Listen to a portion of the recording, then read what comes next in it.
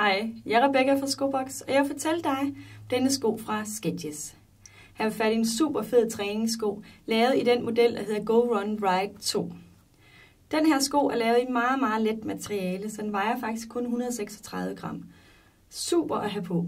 Sålen er lavet i stødabsorberende materiale, og lavet sådan, at man ikke lander på sin hæl, når man har på.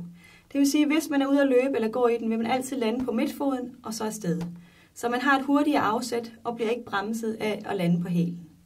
Når man lander på sin hæl, så får man et kraftigt stød op igennem kroppen, så det både går ud over knæ, hofte og ryg, og det undgår man 50% ved at lande på sin midtfod. Sålerne er meget fleksibel og bløde og kan drejes 360 grader. Der er en blød hælekap her, men den sidder super flot omkring foden og kan snøres helt til.